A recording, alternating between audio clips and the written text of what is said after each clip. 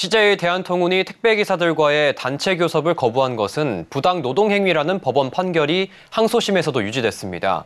CJ 대한통운은 택배산업 현실을 제대로 반영하지 못한 판결이라며 상고하겠다고 즉각 밝혔습니다. 이해란 기자입니다.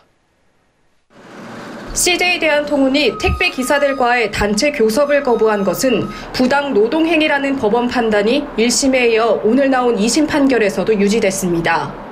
사건은 전국 택배 노동조합이 2020년 3월 CJ 대한통운을 상대로 단체 교섭을 요구하며 시작됐습니다.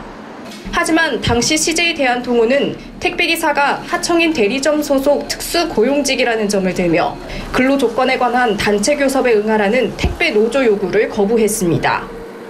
택배 노조는 CJ 대한통운의 단체 교섭 거부에 지방노동위원회에 구제를 신청했는데 당시 진호위는 CJ 대한통운에 손을 들어줬습니다.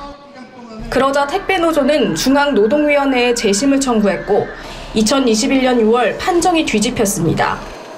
CJ 대한통운이 택배기사를 직접 고용하지 않아도 실질적인 사용자로서 직접 단체 교섭에 응해야 한다고 판단한 겁니다. CJ 대한통운이 이에 불복하며 행정소송을 냈지만 1심과 같이 단체 교섭 거부는 부당 노동행위라는 판단이 2심에서도 유지됐습니다. CJ 대한통운은 이번 판결에 대해 택배 산업 현실을 제대로 반영하지 못한 판결에 동의하기 어렵다며 판결문이 송부되는 대로 검토 후 상고할 계획이라고 밝혔습니다.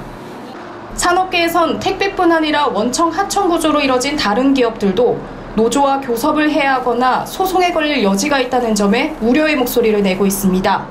서울경제TV 이혜란입니다.